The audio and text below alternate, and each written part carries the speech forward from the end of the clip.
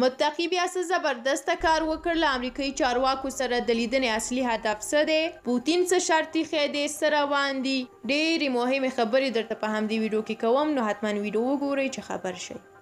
د طالبانو د سرپرست حکومت د بهرنیو چارو وزیر مولوي امیر خان متقي د دوی د یوه پلاوي په مشرۍ قطر ته روان شوی. دا په داسې حال کې ده چې د واشنګټن پوسټ ورځپاڼې په یوه تازه خبر کې ویلي دي چې امریکا د افغانستان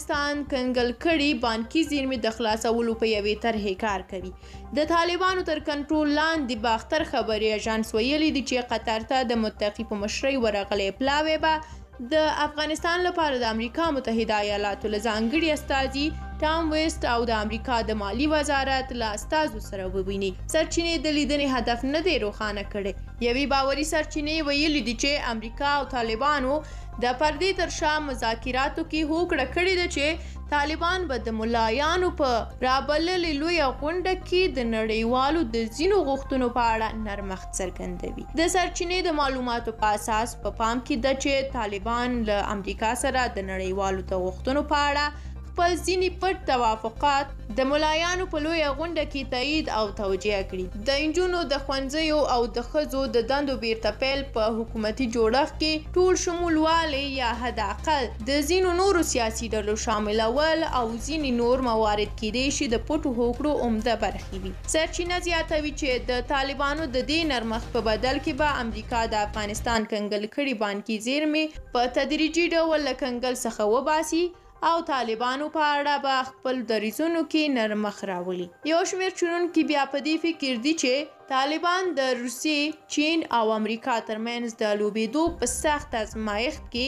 قرار لري او ورته ګرانه به شي چې د دغو متخاصمو لوریو ترمنځ په اړیکو کې توازن وساتي. دا په داسې حال کې ده چې د روسیې ولسمشر ولادیمیر پوتین د سیمې د هېوادونو په سفر وتلی